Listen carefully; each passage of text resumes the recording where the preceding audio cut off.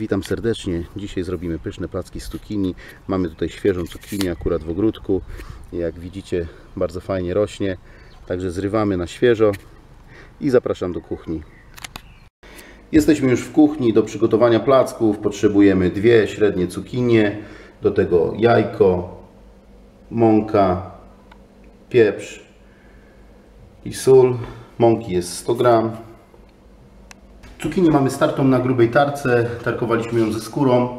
E, Teraz wystarczy ją posolić, e, wymieszać i odstawić na 5 do 10 minut, aby ona mm, puściła soki. Jak widzicie objętość, objętość się zmniejszyła, E, woda jest odcedzona, także wlewamy jajko, wsypujemy mąkę, pieprzymy. Z solą trzeba uważać, ponieważ już soliliśmy całość, aby pozbyć się y, nadmiaru wody. Także wystarczy to teraz wszystko wymieszać. Przygotowana cukinia starkowana, połączona z jajkiem, z mąką, z solą, z pieprzem jest gotowa, aby, aby ją smażyć. Olej mamy rozgrzany, także śmiało możemy wykładać naszą masę na placki, na patelnię i smażymy do osiągnięcia ładnego, złocistego koloru.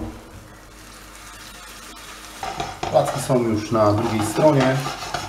Jak widzicie, odpowiednio przypieczone.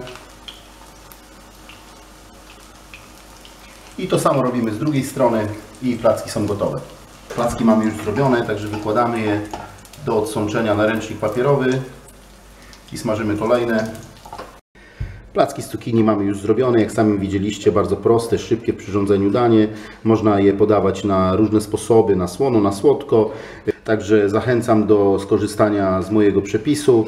Jak spodobał się Wam mój przepis, subskrybujcie, dajcie jakiś komentarz i życzę smacznego. Do zobaczenia.